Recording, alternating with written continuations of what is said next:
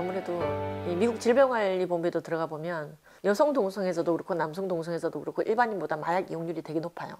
마리화나 하나 기준으로 봤을 때 레즈비언이 게이나 일반인보다 훨씬 더 높고요. 그러니까 왜 그렇지 하실 텐데 비정상적인 성행태를 가지고 있는 사람들이 정상적인 사고를 가지는 거는 참 어렵습니다. 견디기도 어렵고요.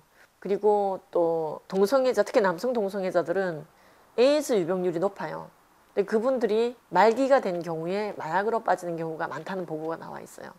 그리고 어, 기타 여러 가지 이유로 성적인 일탈은 다른 중독과도 많이 관련되어 있습니다. 성적인 일탈은 행위 중독인 성중독과 연결이 많이 되어 있고요.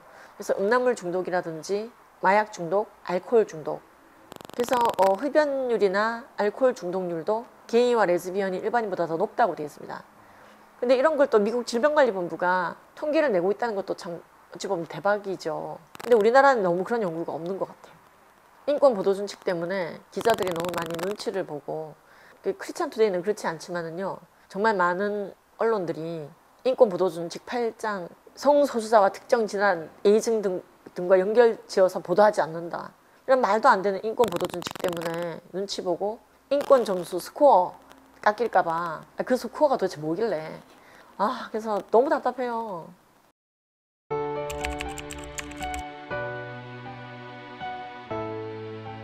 우리 MZ 세대들은요 디지털 네이티브거든요. 태어나자마자 스마트폰을 손에 쥐고 태어난 세대예요. 어찌 보면.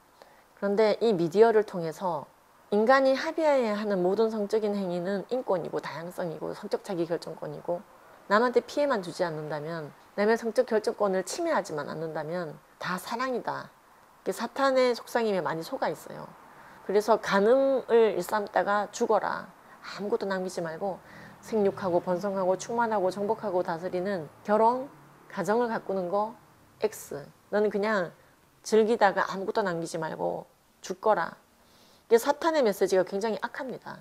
근데 하나님은 우리에게 정말로 난 너와 같은 존재가 많아지기를 바래. 생육하고 정복하고 많아지라고 충만해지라고 우리에게 처음 주신 명령이 많아지라는 거였거든요. 이게 이 문화 명령이 선교 명령과 반드시 다 있습니다. 복음 듣지 못한 민족이 없을 만큼 초원과 광야를 달려 복음을 전하고 그래서 이 만국의 복음이 전해지면 성경 말씀의 표현대로라면 만국의 복음이 전해지면 예수님은 다시 오시는 거잖아요. 우리는 그렇게 인류의 역사가 종지부 찍는다는 걸 알고 있지만 예, 지금 많은 인구론자들이나 이런 이제 환경론자들은 지구 대폭발, 인구 폭발로 끝난다.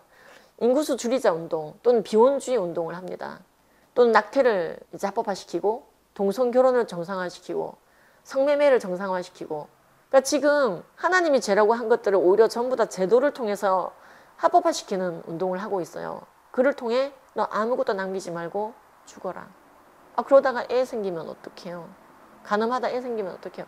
낙태할 권리까지 줄 테니까 걱정 말고 가늠하세요. 이 교육이 지금 진짜 전 세계 두루 다니며 삼킬 자를 찾는 사탄의 작전입니다. 근데 하나님은 분명히 우리에게 많아지라고 하셨고 우리와 같은 존재가 많아지기를 바라시고 심지어 우리의 생명을 위해 땅에 성육신하고 오셔서 대신 죽으시고 부활하신 분이십니다. 그래서 우리의 차세대에게 특별히 독신의 은사나 사명을 받은 거 아닌 다음에는 결혼하는 거야. 전 MZ 세대에게 그렇게 얘기하거든요. 청년이여 결혼하라 라는 강의를 제가 많이 하고 다니는데요. 아마 검색이 좀 될 거예요. 너무 MZ 세대들이 그 자리에서 많이 바뀌어요. 하나님께 독신의 은사와 사명을 받는 것도 굉장히 존중합니다. 기독교는. 근데 그게 아니라 아주 인본주의적인 목적과 이유로 이기심으로 그러니까 좀 더 인간적 스펙 쌓으려고 좀 더 인간적 쾌락 즐기려고 좀 더 인간적 재산을 모으려고 좀 더 인간적인 기회를 다 누려보려고 즉 생육하고 번성하고 충만하고 정복하고 다스리라 됐고 나는 좀 더 즐길래 그 이유만으로 인본주의적인 이유로 결혼을 하지 않는 것을 우리는 비혼주의라고 봐요. 그래서 A랩에서는 이 비혼주의를 죄로 보고 결혼하라고 말합니다. 성적인 욕구를 죄악시한 적이 없습니다. 성경이 음욕의 죄를 문제시하는 거예요. 그래서 인간의 성의 지평은 결혼을 통해서 열리는 것이고 결혼 전에는 절제와 승화와 인내의 시간을 가지다가 결혼을 통해서 성의 지평을 열어가고 생명의 지평을 열어가라. 독신의 은사와 사명을 받은 자는 그 자체로 귀한 분입니다. 그러나 그게 아니라 지금 너무나 많은 세대들이 좀 더 즐기려고 결혼하지 않고 그냥 아무것도 남기지 않고 죽겠습니다. 욜로 you only live once 문화예요. 그래서 이 비혼주의 그래서 제가 얼마 전에 아주 큰 M 교회를 갔었는데요. 강동구에 있는 그 교회가 이제 어느 수련회 원에서 수련회 했는데 어쨌든 뭐 서초구에 있는 시옷 교회도 그렇고요. 청년부를 가서 손들기를 시키면요. 이 중에 독신의 은사 받은 사람 손들어 봐요 하면 아무도 안 들어요. 몇백 명이 있어도. 근데 결혼할 사람 손들어 봐요. 그러면 한 반이 들어요. 반은 생각이 없는 거잖아요. 근데 이 교육을 하고 나면 이제 성경적인 결혼관과 연애관 교육을 하고 나면 마지막 때 다시 손들기 시키거든요. 자, 90분 강의 끝났습니다. 결혼하실 분 손들어 보세요. 다 들어요. 거의. 많이 시간이 걸리는 게 아니에요.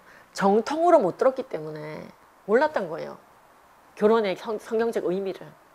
그러니까 결혼하면 사랑이 식잖아요. 이런 악성 논거에 다 시달리고 있습니다. 아니 아가페가 급성장하는 게 결혼이다. 그래서 아이들에게 에로스 강박증을 버리고 아가페 중심적인 삶으로 갈 수 있는 길이다. 아이들 굉장히 잘 알아들어요. MZ 세대 똑똑해요. 똑똑해요. 못 들어서 그런 거지. 요즘에는 제가 정말 시집장가 보내느라고 혈안이 돼 있는데 얼마 전에 국회에서 태아 생명 캠페인을 했었는데요. 그때 한 분이 제 강의 듣고 결혼을 작정을 해- 하고 바로 아기 낳았다고 하더라고요. 그래서 그 영상 꼭 보시면서 많은 분들 청년이여 결혼하라, MZ 세대여 결혼하라, 화이팅입니다. 라는 영상 편지 남겨봅니다.